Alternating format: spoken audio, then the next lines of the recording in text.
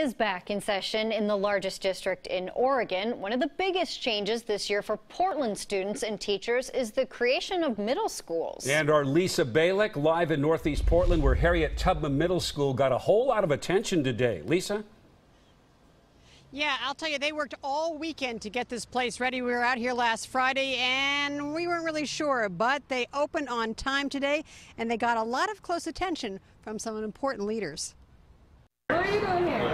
Just visiting. Mayor Ted Wheeler among the Portland leaders here at Harriet Tubman Middle School, checking out all the changes. Filter all the air that's coming into the so building. is it completely recirculating? Oh yeah, yeah, yeah. It's, it, it's pull, it is pulling outside air as well, but it's probably about the cleanest air in the city right now. Some of the most expensive fixes here, a new roof and an air quality ventilation system to address safety concerns from pollutants coming from nearby I-5. There's also a possible nearby expansion of the freeway. It's startup.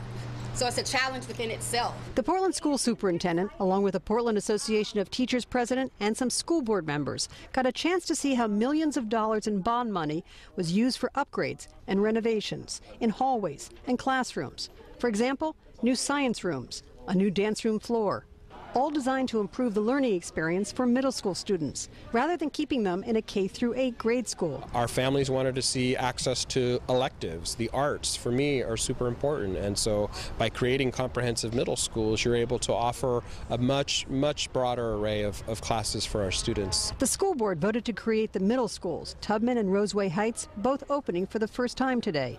It's one of many changes in the district. Just the fact that on the first day of school we're walking around together, visiting the buildings together, that the educators that we're meeting are, are happy, they're pleased, they're enthusiastic, that is a completely different tone.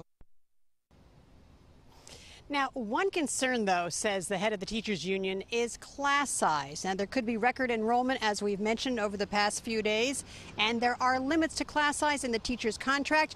We'll be following that and keep you posted. Live in Northeast Portland, Lisa Balick, KOIN 6 News.